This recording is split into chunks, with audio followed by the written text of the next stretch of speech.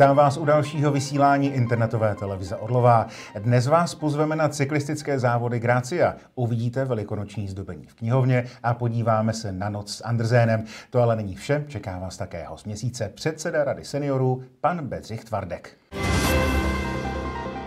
Vážení spoluobčané, právě se nacházíme v místech, kdy za 8 dní odstartuje po dvou letech nucené pauzy Mezinárodní cyklistický závod Gracia Orlova 2022.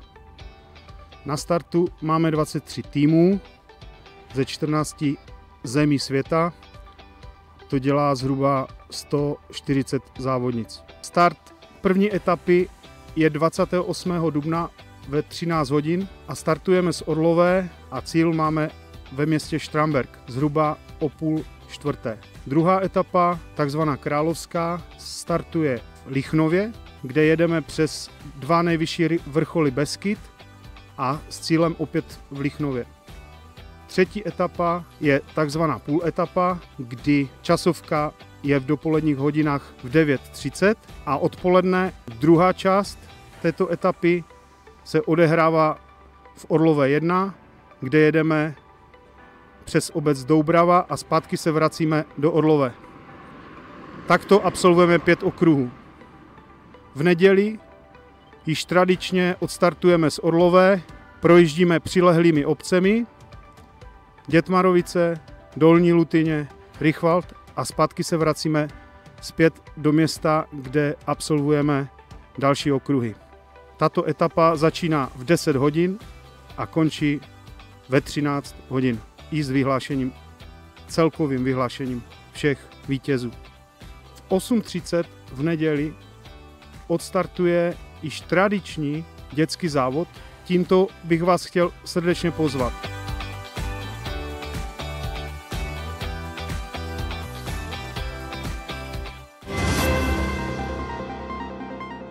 Tvůrčí velikonoční atmosféra zavládla v pátek 18. března i v prostorách Senior Pointu v Městské knihovně. Nad několika platy vyfouknutých vajíček se tam sešla parta seniorek. Jedna z nejlepších a certifikovaných maléreček v Česku, 80-letá Drahuška Otisková, rozehřívala vosk a učila děvčata, jak jej nanášet špendlíkovou hlavičkou na vajíčka. Na techniky zdobení vajec, kterých je opravdu hodně, jsme se také zeptali. Techniky jsou škrabané nebo vyškrabované, reliefní nebo batika, vrtané, dratkované a taky leptané kyselinou. Běžný uživatel může si eh, tyto kraslice zdobit doma nebo jsou na to speciální? Samozřejmě může, protože to jsou všechno věci, které se dají tvořit doma. Některé jsou náročnější na tvoření, jako na, na tou práci, a některé jsou snadnější.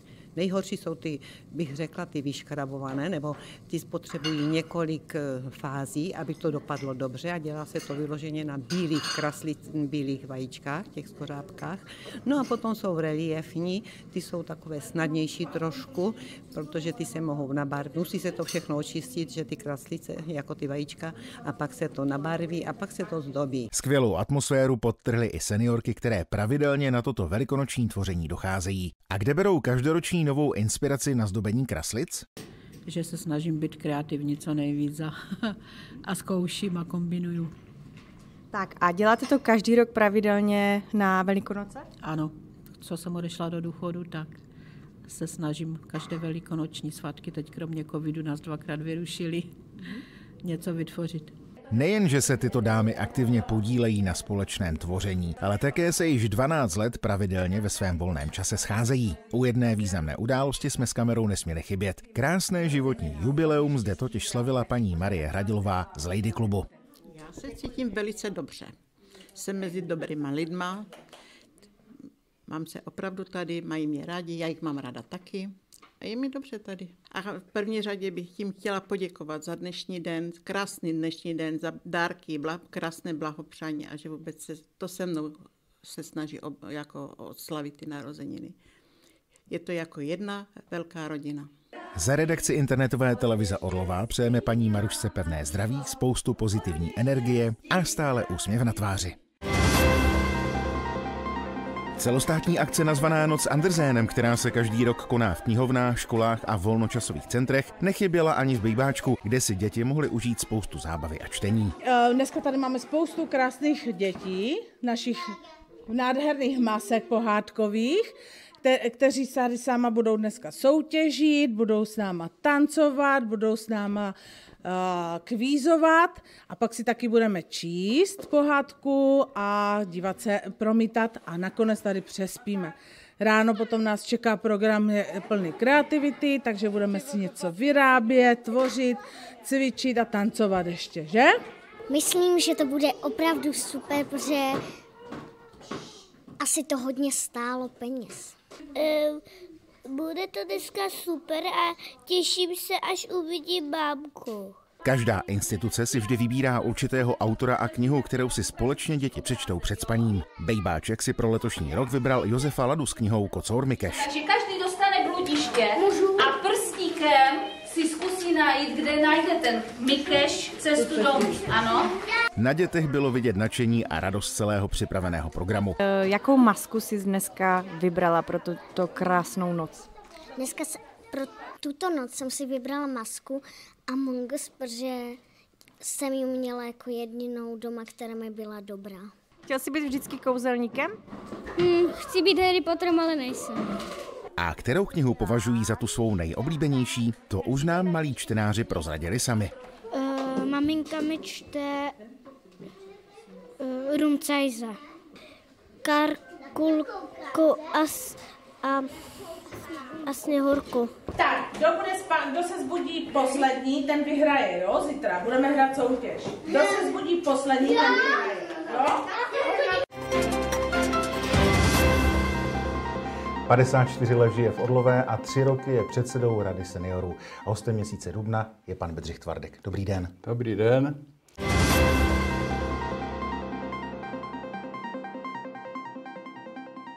Pane Tvardku, 54 let žijete v našem městě. Jak vnímáte z pozice občana Orlovou?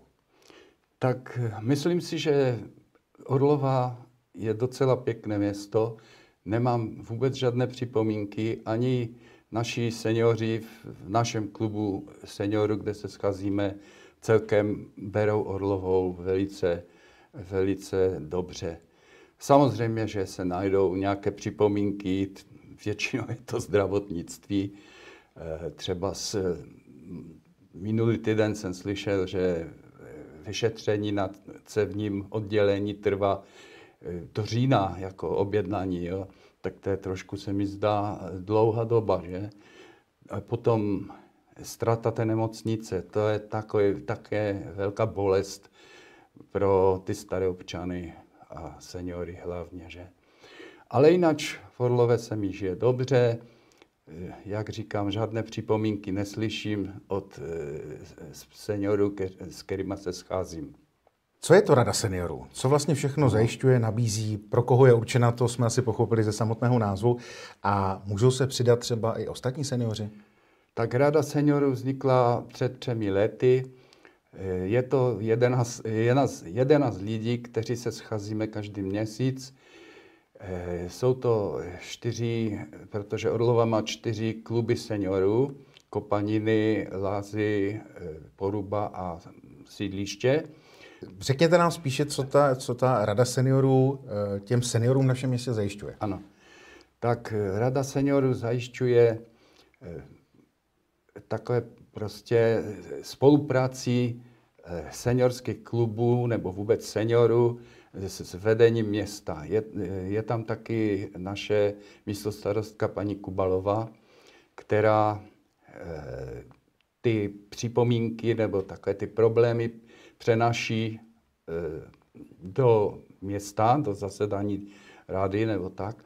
A, a naopak zase my takové věci, které třeba by město chtělo dostat mezi lidi, eh, prostě eh, dostáváme mezi ty seniory. Takže se takovým mostem mezi vedením Ano, města a mezi dosl- těmi seniory, doslova tak. kteří žijí v našem městě. Ano.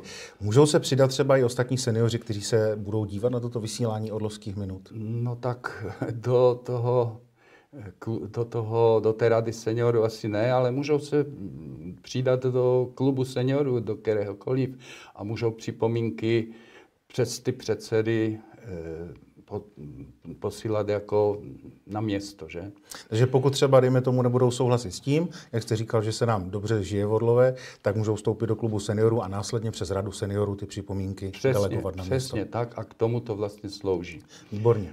Jak se seniorům v Orlové žije celkově? Mají tady dostatek vyžití? Je pro ně dostatek služeb, který je určený primárně pro ty seniory? No tak třeba, s, jak byl koronavír, byli, snažili, snažilo se město prostě pro seniory dělat veškeré, veškerou pomoc jako s nakupama a s podobnýma věcma. A myslím, že žádné problémy nebyly, že, že lidi byli spokojeni. No, vím, že tam je třeba ten taxík Maxík, já s tím moc nemám zkušenosti, ještě s autem, ale, ale slyšel jsem, že je docela vytížen. O taxíku Maxíku jsme měli samostatnou reportáž v Odlovských minutách, i v Odlovských novinách byla informace. Co Senior Point? Senior Point byl založen taky loni, že? A moc to, moc se toho ne, neužilo, protože byl založen a za měsíc začal koronavír, měli jsme tam výstavu, ta výstava byla snad otevřena týden a byl zákaz, zákaz zhromažďování, zákaz vstupu, takže dva měsíce se čekalo, pak se výstava zrušila. No a teprve vlastně Senior Point začal fungovat asi před, já nevím, dvěma měsíci, že?